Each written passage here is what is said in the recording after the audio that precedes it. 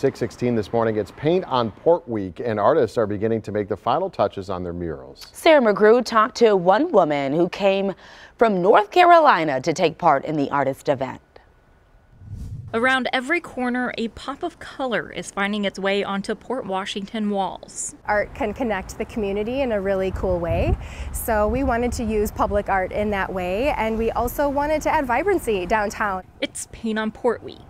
The event has brought together artists locally and from around the country, painting four different murals simultaneously over 10 days. I love especially love projects where other artists are involved just because you make new art friends and get to support each other's work and it's super cool. Britt Flood is a painter from North Carolina. Her mural is taking shape on the corner of Grand and Franklin. I'm a figure painter turned mural artist, um, so I love painting people, so I always try to include kind of hints of facial features within each piece. And although she's from North Carolina, she drew inspiration locally, including from the sports fisherman display featuring rainbow trout in her mural. In this piece, we have kind of an abstract silhouette of two lovers facing each other. Um, and within each of their heads or minds are just filled with like an ode to the water, Lake Michigan, native fish. Um, I had a few other species of fish in there at first, and then we were like, you know what, let's really reel this in, no pun intended, to um, really kind of highlight specific fish that are here. Wisconsin is the 11th state she's made her mark in. My goal is to provide people just kind of a moment um,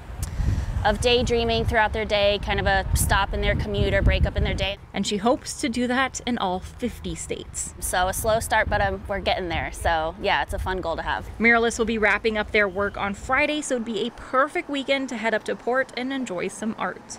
Reporting in Port Washington, Sarah McGrew, TMJ4 News.